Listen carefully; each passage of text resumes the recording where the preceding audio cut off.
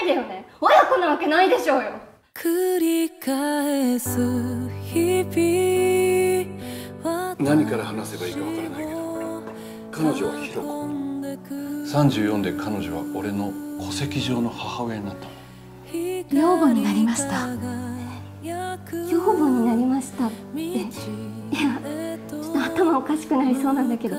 ずっと私を騙し続けてたの？愛って形が変わっても消えないじゃん知らない。出会いと別れの純交差平さんって点養子縁組で元彼女がお母さんだったりしないですよね。俺孤児院で育ってからちなみに親戚？みたいな人も一人もいないもがいてももがいても俺のままなんだよ。俺の息子なんだよ。ひろことさとみさんは親子じゃないだろ親子になる必要が何であるのまだ気持ちがあるから。だそういうわけじゃもう養子縁組のことはどうでもいいよ。結婚してほしい。頑張るから。